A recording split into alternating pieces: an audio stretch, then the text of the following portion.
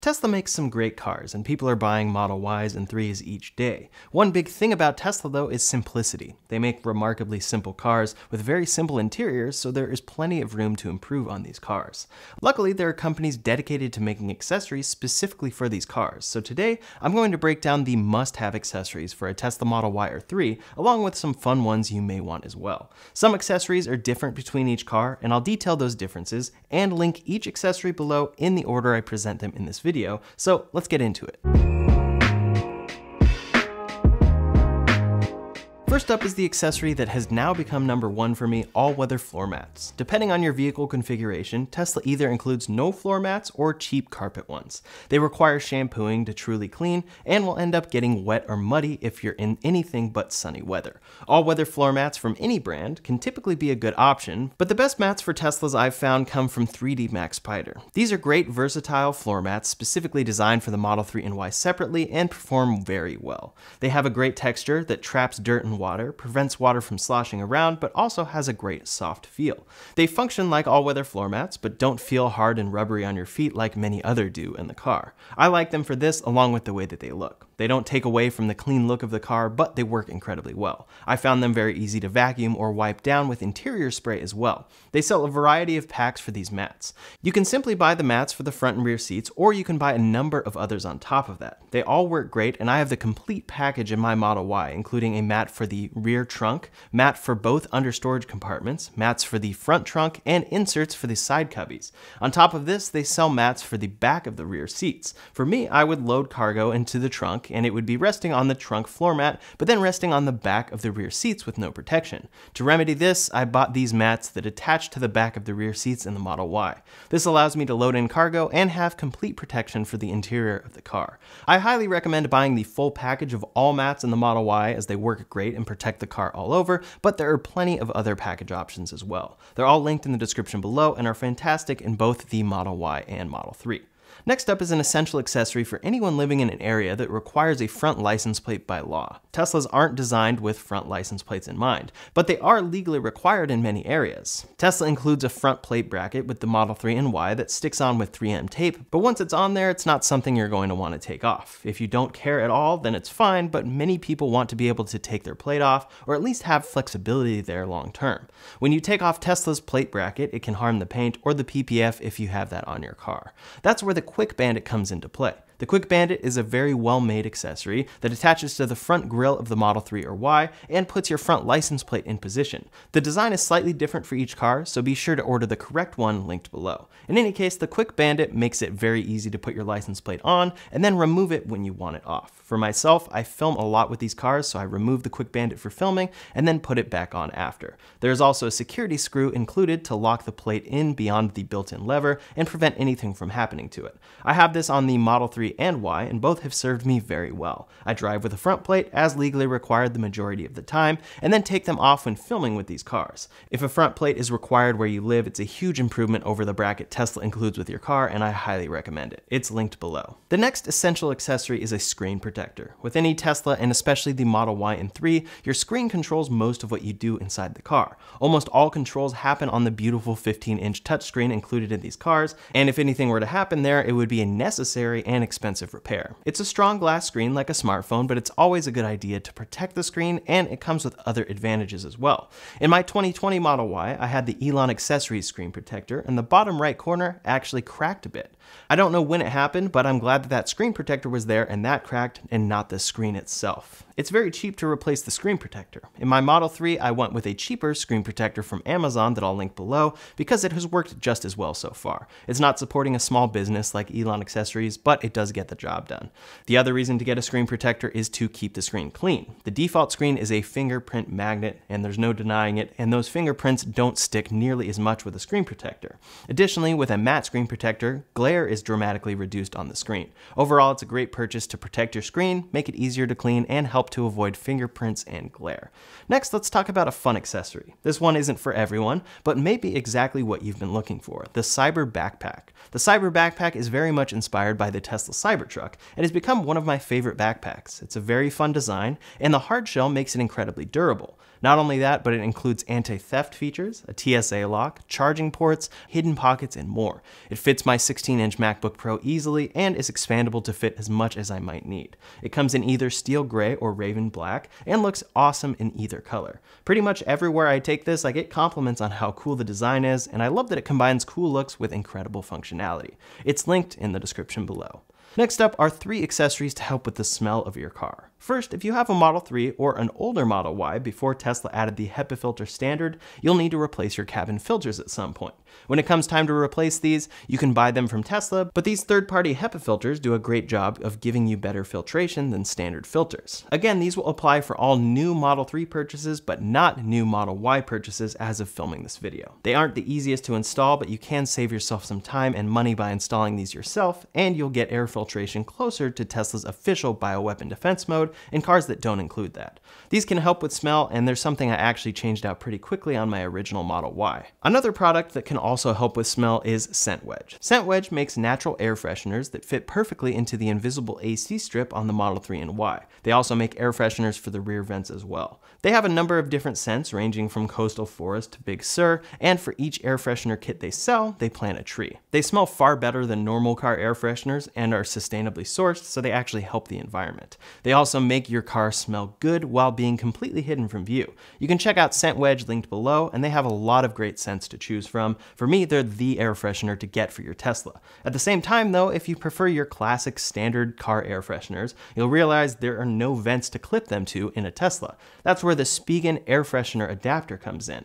This adapter slides right into the invisible AC slot in a Model Y or Model 3 and sticks with gentle adhesive. Then you can easily clip any classic car vent air freshener to it. It's a cheap accessory that does a great job for those wanting it. While you're working on keeping your Tesla smelling fresh, you'll also want to keep it clean. There are a bunch of great cleaning products I'll recommend later in this video, but the easiest accessory to keep on hand is a handheld vacuum. This is the Fanttik V8 handheld vacuum. It comes with a storage case, fits easily in the side cubby of a Tesla, charges over USB-C, and handles most simple vacuuming jobs in a Tesla. I keep it in my Tesla full time and it does a great job. They also make the V9 though, and it's a larger, more powerful handheld vacuum. I personally keep this one in our Rivian R1T, but of course it works great in any car and is still small enough to keep stowed away in a side cubby, the front trunk, under storage, or anywhere else. Now speaking of all those storage spaces in a Model Y or Model 3, these are all locations that can be optimized with great accessories. First is the center console. The center console is deep along with the storage under the armrest in both of these cars, and these center console organizers do a great job. They are designed for the latest Model Y and Model 3 center consoles, and they divide everything perfectly. This drawer goes under the sliding drawer, gives you smaller options and compartments, and then itself can slide forward and out of the way of the rest of the space beneath it. It feels like something that this car should have come with because it integrates so well, and I'll link a couple options of it below. Then there's an armrest console organizer that fits right there and can keep smaller objects close by. They come in a package together, but in addition to this is a hidden storage compartment that goes in the underside of the armrest. This is great for keeping things you need but want hidden, and it flips open easily with a door in the corner. There are a few different versions of this accessory, and I'll link my favorites below. Next are under-seat storage containers. The Model Y seats are sitting on risers, so there is actually a great deal of storage underneath these seats. The only issue is that the storage passes through to the other side, so nothing really stays there when you're driving. That's where these under-seat storage containers come into play. They slide under the front seats and stay put. You can store whatever you would like in there, like an umbrella, charging cables, or anything else, and there's a good amount of storage available under each seat with these. They easily slide out and in, and have worked great in my experience so far. It's a great way to utilize that extra under-seat space in the Model Y. One thing I did notice though is that if the front seat is adjusted low, you can't slide these out or in without catching the 3D Maxpider floor mats, but if you raise the seat up to what I think most people do in this car, it's not an issue. Another location for more storage is a container for rear storage in the Model Y.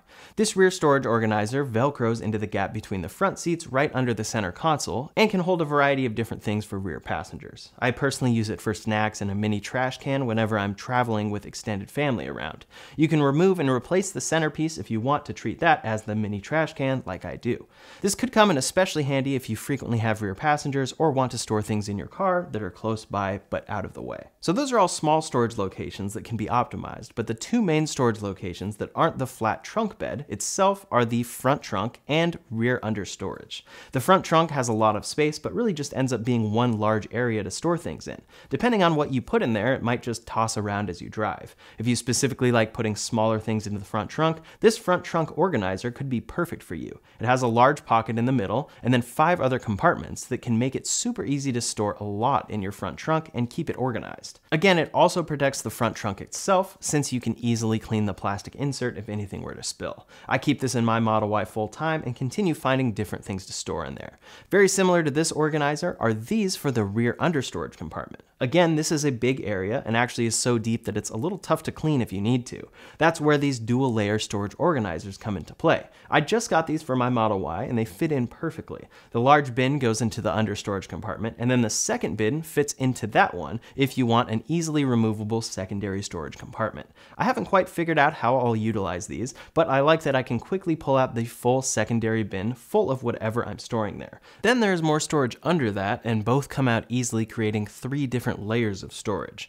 I'll probably end up keeping anything liquid in these tubs and anything that for sure won't damage the under storage compartment beneath both of them. The side cubbies in the Model Y are great and particularly give you some deep but small storage for things like drinks. Unfortunately, the interior isn't something that could get wet for a long period of time, and even with the 3D Maxpider inserts, you could run into issues. That's where these Model Y trunk side storage bins come into play. They fit perfectly into the side cubbies, give you deep storage that is plastic and fully protects the interior, and also creates a shelf above them. Interior protection is definitely becoming a theme here, and it's awesome when you can get that function, as well as storage versatility all in one package. These side cubby tubs blend in completely with the interior, but you can lift the lid and then use the plastic bin beneath to put whatever you may need in there. Another very simple but very effective accessory. Now to finish out storage optimization comes side door organizers. These are available for both the Model Y and Model 3. These insert into the side door wells in the front and rear of the Model 3 and Y and give you added organization and protection there.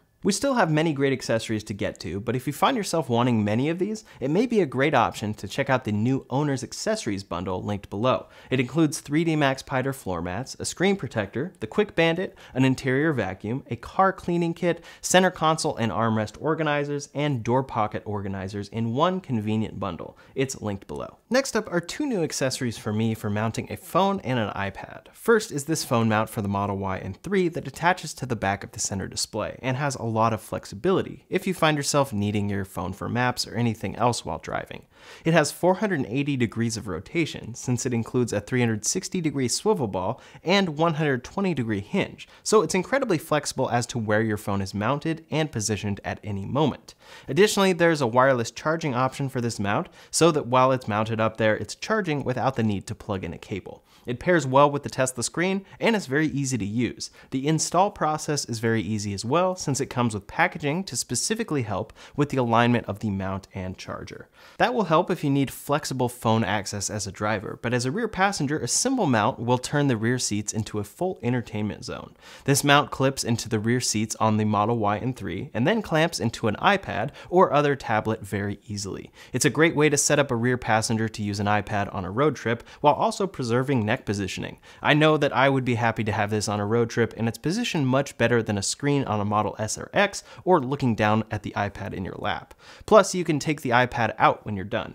For both the Model Y and 3, they come with entirely glass roofs. The Model Y is one solid glass piece, while the Model 3 is split in two. They provide great views and have UV protection, but in the dead of summer, they can still be too hot. When I road tripped one year to Arizona in April, this roof was letting in way too much heat, so now I finally bought myself a roof shade. This roof shade is thin and easy to install. You clip it in and then have a totally shaded roof when needed. If you always want the roof covered, this may be something you want to buy and use all the time. For someone like me though, I'll keep it off until I'm going on a longer summer road trip or find myself getting too warm in this car frequently. It's fairly easy to use and comes in different versions for the Model Y or Model 3. One thing to note when installing here is that it is a little bit saggy and that's why it comes with these magnets, but you do need to adhere them to the glass roof and then this magnet will hold this up right into place. And it works really well, it's just you do have to do that so it's not a completely temporary install and then uninstall. Now I'm going to list off a bunch of small but useful accessories. I wouldn't say that these are essential, but they might add just the right protection or flair to your Tesla. They're all linked below in order. First is the armrest cover. I have the white interior in the Model Y, but the armrest is black. This simple cover makes it white, has the Tesla logo, and protects the armrest itself in the process. For now, I'm keeping it on and I'll see how I like it long term. Next are white headrests. Sometimes I need a little more neck support in these cars, so these simple headrests attach easily, match the white seats, and support my neck. I'll let you know in a future video how they are holding up long term. For sunglasses, I usually end up putting them in a case and hiding them in the center console, but this holder might be the easiest one I've found. I've tried various other sunglasses holders, but this one attaches and then hides on the lower side of the center console. So far, it's nice and easy to use.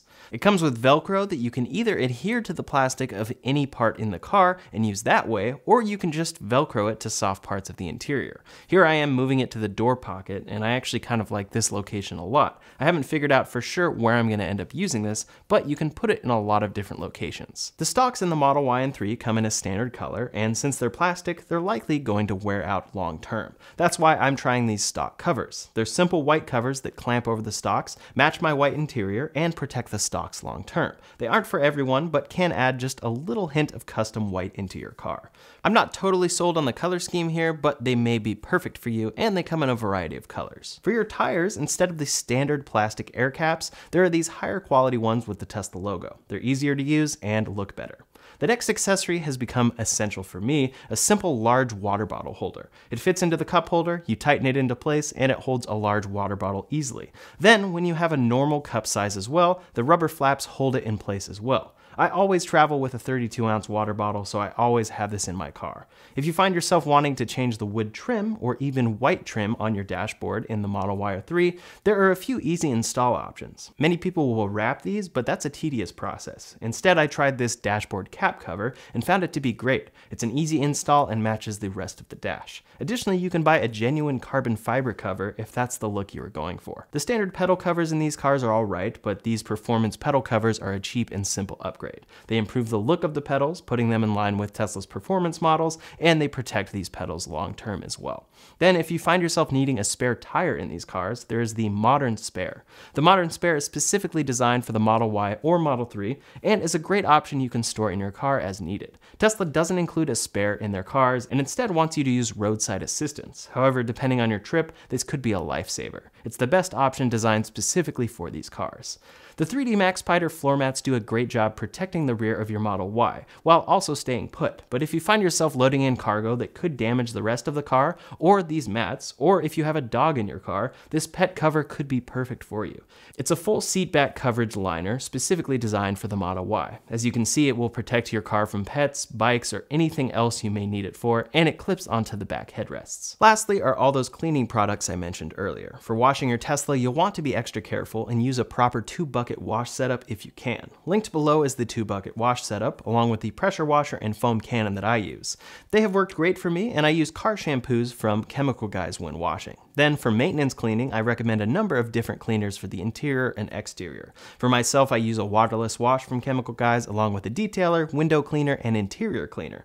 Afterwash is also great for getting rid of water spots, and for all of the above, you're going to want to use nice, soft microfiber towels to avoid any scratching. This is what I've used for a while while, but a new package of equivalent cleaners is available now as well, and I've been trying those as well. They work great. I bought this package recently, and it includes an interior cleaner, car wash shampoo, waterless car wash, glass cleaner. These are all essentials, so it's great that they come in one starter package. It can be easier to buy this way, especially to get started as opposed to buying individual Chemical Guys products, but both and all of those are linked below. That's a lot of accessories, but I wanted to be sure to include the essentials I've found as well as the latest things I've been trying out. There are tons of ways to improve your experience in these cars and tons of ways to have fun in the process. As I mentioned, everything is linked in the description below in order, and I hope this video was helpful for you. In the meantime, if you want to see the latest Tesla news, you can check out that video linked up here or in the description below. Thanks so much for watching, and I'll see you on the next one.